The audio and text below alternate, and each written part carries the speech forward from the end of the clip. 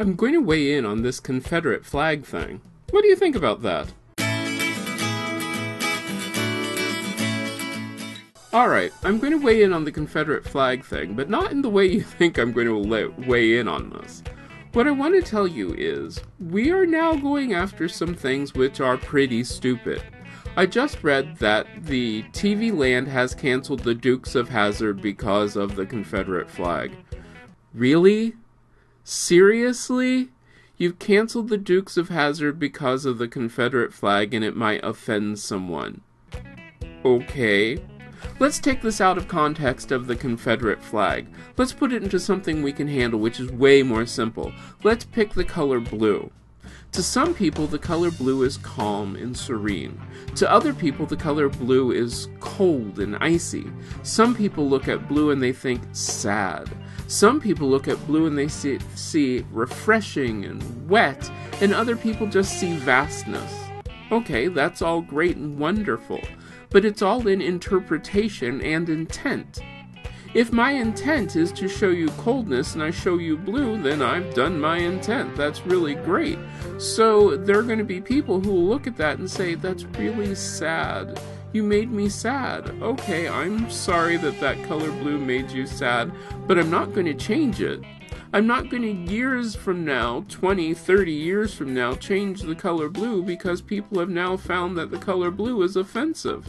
That's silly. It's part of our history. Now, if you use these things in some sort of way which is meant, specifically meant to offend people, which I have a feeling that the Confederate flag on in uh, the Dukes of Hazzard wasn't really meant to offend people. Just throwing that one out there. Uh, the Dukes of Hazzard, I don't know, probably wasn't that offensive of a show. I remember watching it. Um, maybe I'm remembering it wrong, but I don't think so. We can't change history. I don't want you to change history. I need you to stop trying to change history. So here's what we have. Yes, do I think the Confederate flag should come off of Capitol buildings? Yeah, yeah. Do I think they should come off of war memorials? No. Uh-uh, no, it's part of the history. It only needs to come off of the Capitol buildings. That's where it stops, nothing else. Taking games out of out of uh, stores because they involve the Confederate flag? No, you're trying to alter life. Hmm. What is the intent? Some of these games are Civil War reenactment games. Um, it's gonna be hard to reenact it. What are you supposed to do? Just carry around a stick now? No. Alright, we've gone too far. We've taken it to the ultimate step, which is removing things which don't need to be removed. And I'm going to tell you something else which might surprise you. Intent. Some people look at the, the Confederate flag, which, by the way, I don't think that the Confederate flag most people are looking at is the actual Confederate flag. It's a battle flag, but we won't even get into that issue. Some people look at this flag as a way of looking at the rebirth of the South. There, there are no racist intentions in there. Some people find it as part of their heritage because, well, it was the South.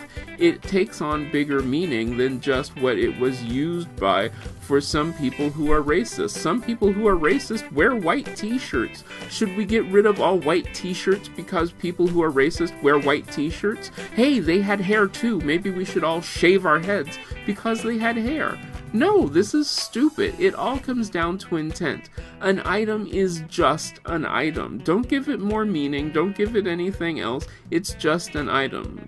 Like I said, I don't think it should have been flown over the Capitol buildings to begin with. That's a whole nother issue. But now you've gone too far. Bring back these flags, bring back these programs. It's not it's not your doing. It's not these people, this few who are now saying, well, this is hurting my feelings. It's not up to you to decide about these things. The people have free will. They, they're allowed to have free will. I can view this Confederate flag however I want to, and I being a person who is a minority, I'm sorry, when I looked at the Dukes of Hazzard, I didn't feel anything racist about the flag. Mmm, that's what I'm saying. Alright, enough of my rant for today. Remember, every Monday through Friday, I talk about a different subject. Share this one. Let other people know how I feel about this, because maybe you feel the same way about this too, in which case you can comment.